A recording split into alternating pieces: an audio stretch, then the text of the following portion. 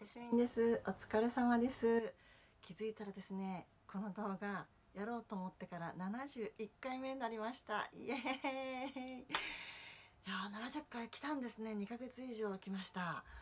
はい。まあこれもですね完璧にやろうと思うことを手放してあのー、それでスタートしたっていうことがあります。で完璧主義を捨てる捨ててこれを取るっていうことがですね結構他にも影響していて間違えてもいいから出したいっていうことがね結構慣れてきましたね。